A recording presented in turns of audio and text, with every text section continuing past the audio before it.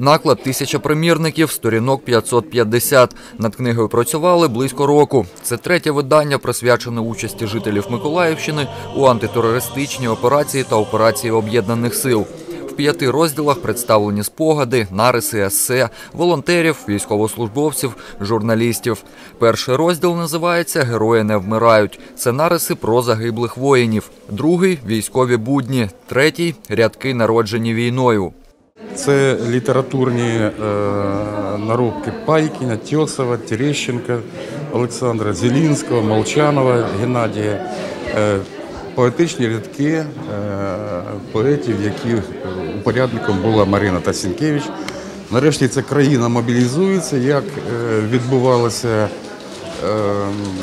відбудова наших збройних сил, е, діяльність волонтерів і так далі.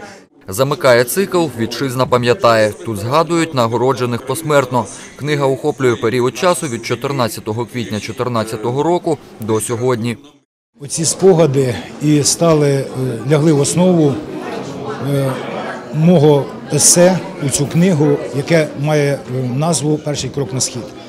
Чому перший крок? Тому що він дійсно був на той момент першим кроком, і вже після цього, близько трьох з половиною років, ми працювали на передній лінії як волонтери, як воєнні кореспонденти, але безумовно саме от то, от те враження, е, перше враження.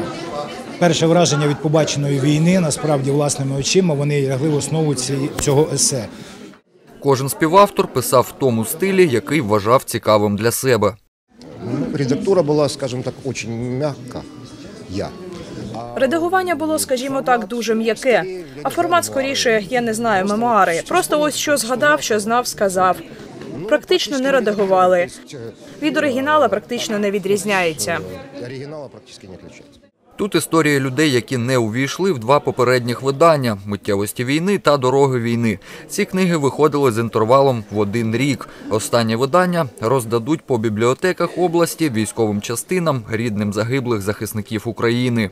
По вашего приглашения мы приехали. По запрошенню ми приїхали, щоб отримати ці книги.